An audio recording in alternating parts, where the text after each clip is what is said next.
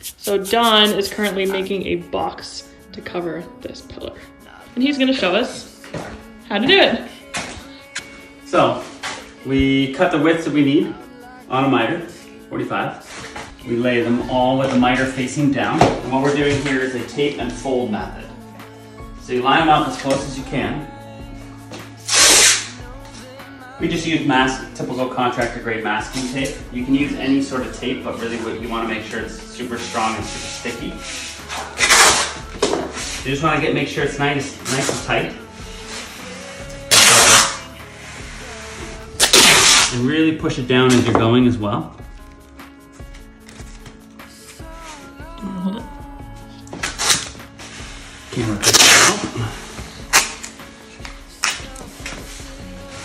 So again, just push the tape in, nice and hard.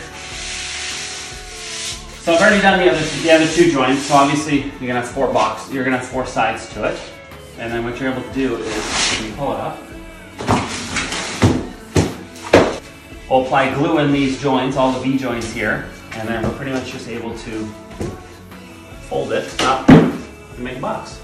So cool. So we just, you can apply uh, wood glue or we typically just use the PL Premium. Either one's just as effective. Some people prefer one over the other.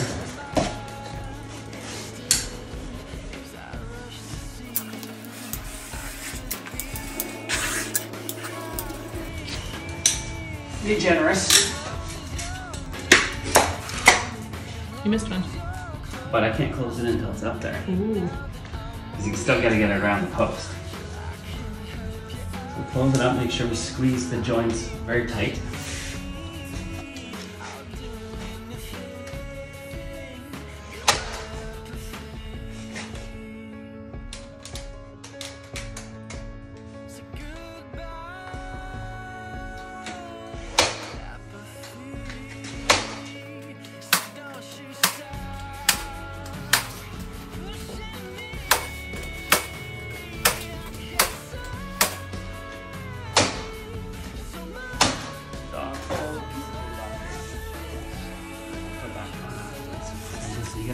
A joint. Once it's in, I can nail it again.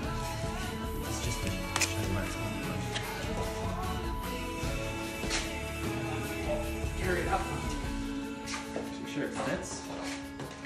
Which I already did pre-check, but.